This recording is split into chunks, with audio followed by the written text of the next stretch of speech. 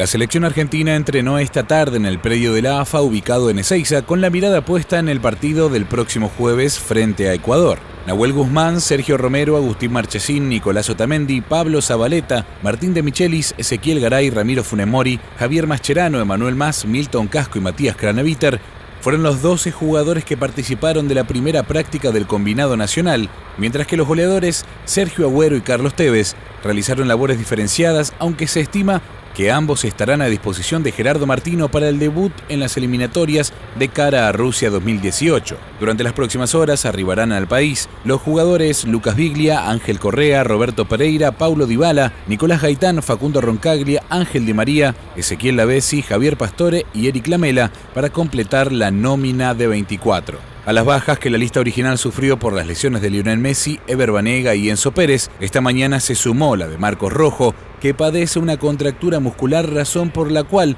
el entrenador del seleccionado acordó con su par del Manchester United desafectar al jugador para estos dos primeros partidos.